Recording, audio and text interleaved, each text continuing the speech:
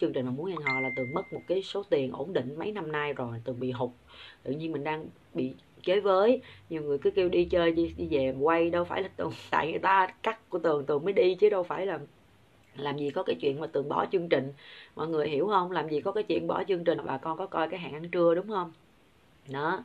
Thì bây giờ họ nói là họ cho từng là à, mà hẹn ăn trưa là từng làm từ cuối năm ngoái lận nhưng bây giờ họ đổi thì thì thì họ nói là vì tường làm cái hẹn ăn trưa cho nên họ họ họ mời người khác làm cái bạn muốn hẹn hò. Thật ra thôi, người ta muốn nói sao người ta nói. Ok, tường không bàn vấn đề đó nữa. Khi một cái chương trình tường làm 6 năm làm sao mà tường bỏ.